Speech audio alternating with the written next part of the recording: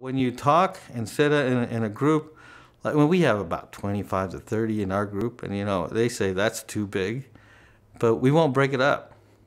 I mean, we've, we've asked, do you want to break this up into two groups? No, no, no. We're comfortable with each other. Even after group, we go out to lunch and still continue to talk and share. And we see each other at events. And, you know, how many people you can you see out in public hugging, men hugging each other, and, you know, with tears and laughter and, you know, joking with each other?